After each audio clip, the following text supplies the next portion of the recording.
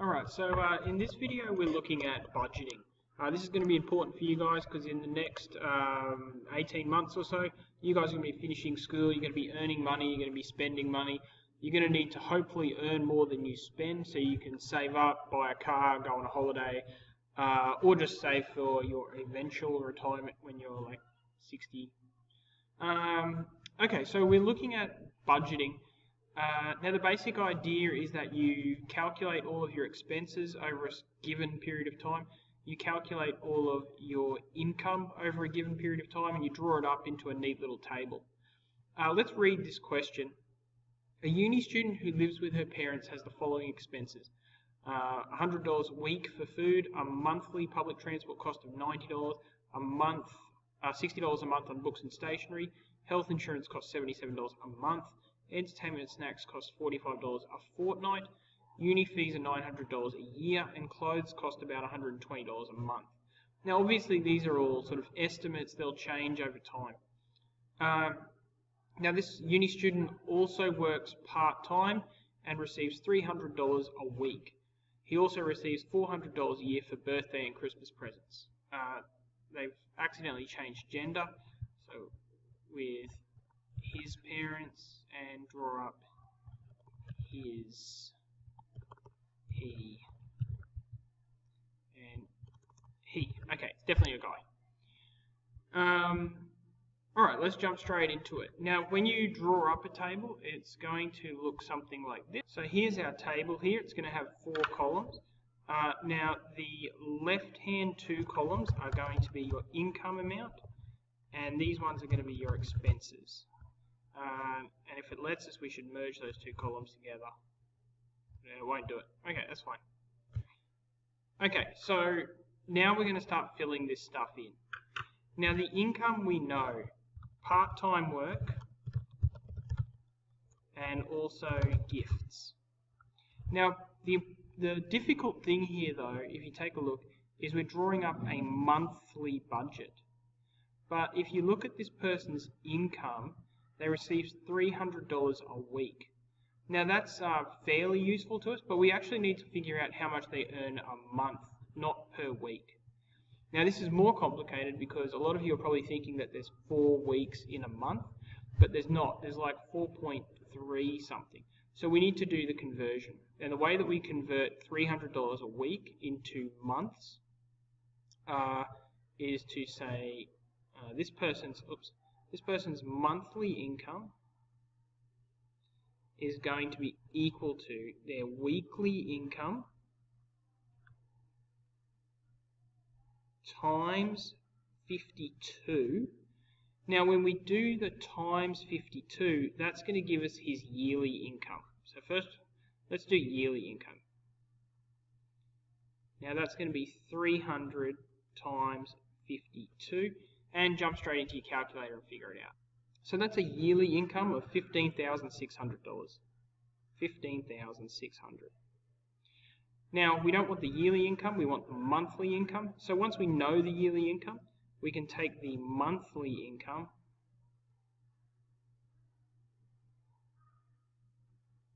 it's 15,600 and divide it by 12. So if one year is that much, dividing it by 12 will give you one month. And again, you grab your calculator out and figure that out. Divide that answer by 12.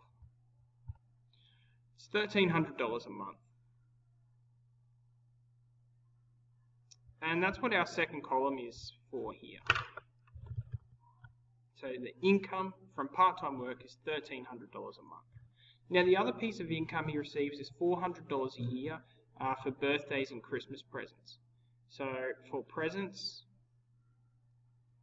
per month, if it's $400 a year, that means that per month is going to be 400 divided by 12. And that's going to give us how much per month?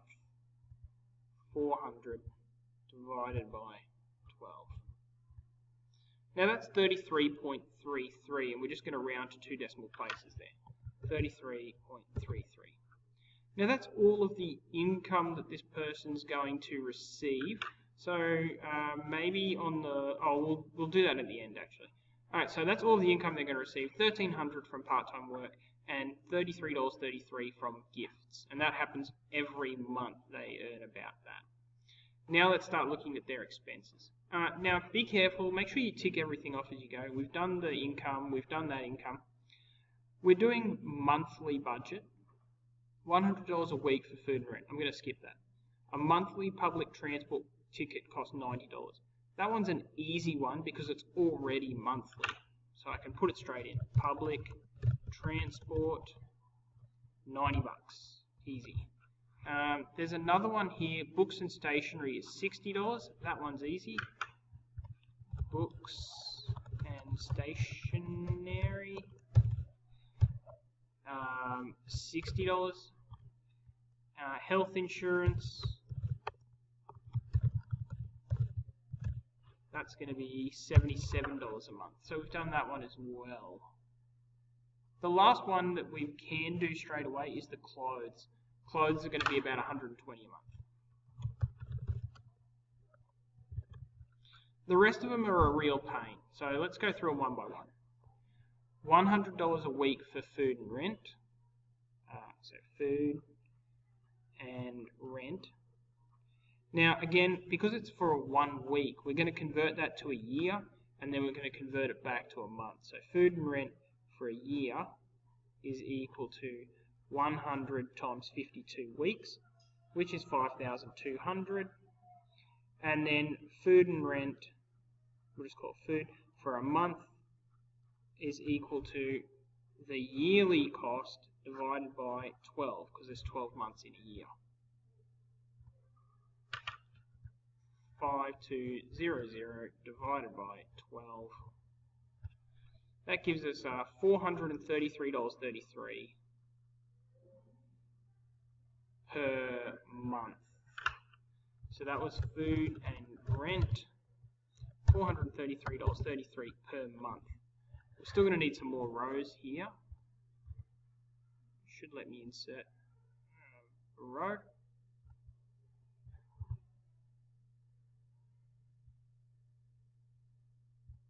Okay.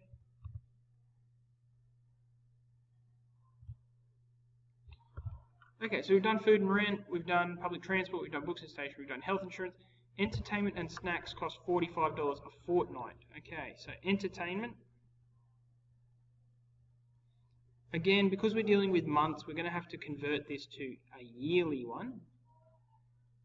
Uh, now, a fortnight is two weeks, so there's 26 fortnights in a year. 45 times 26 will give us our yearly entertainment amount. 45 times 26, 1,170.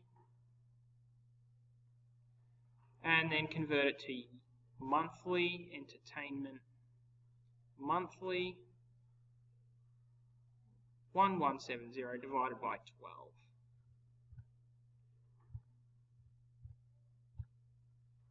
That's $97.50. Ah, entertainment. $97.50 per month. Not spending much there. Uh, last one, uni fees are $900 a year.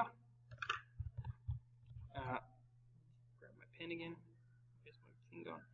Uni fees for a month. If it's $900 per year, a month is going to be 900 divided by 12 Our calculator helps us. 75 bucks. Okay. And that was uni fees. We're doing really well here. Um, I know it looks like a lot of work, but remember, this is really something that if you're going to be smart with money when you when you finish, uh, it's certainly something that you're going to want to do. Now down the bottom here we do total income and total expenses. Now that's just going to be a matter of taking all of these income amounts and adding them together, 133333, and taking all of these expense amounts and adding them together. So put all them into your calculator. I won't make you watch that, I'm just going to do it on my calculator and you can see the answer. Okay, I put all those amounts into my calculator and I ended up with $952.83. Okay, so the good news is that we have now finished our monthly budget. Now, when you do a table like this, you're going to use a pencil or a pen, ruler, and you'll do all of that by hand, not uh, typing it onto a computer like I have. Monthly budget, income, all of your incomes on the left-hand side, and all of your expenses are on the right-hand side, down the column, down the column, totals down the bottom. Now stop, think about this for a second. This is good news for whoever this person is because their total income is 1,333. That's how much money they're oops, that's how much money they're making every month and their total expenses are only 952. This means that every month they're going to save some money. Uh, and we can do that work now. Uh, if I can if I can get this to work. So calculate how much money he will save every month. Savings equals the total income minus the total expense. And that'll give us 1333.33 minus $952.83 we get our calculator out. 1333.33 minus $952.83. They're saving $380.50 per month.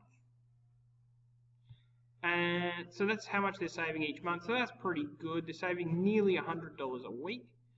Our last step here if he wants to save $3,000 to go on a holiday, how long will it take? So if you're doing $380.50 per month, uh, we can figure out our time until holiday.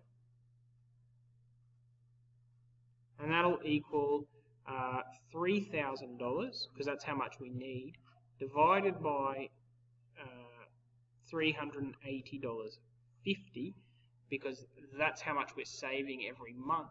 Now when we calculate that, 3,000, oops, too many zeros, 3,000 divided by $380.50, it gives us 7.88.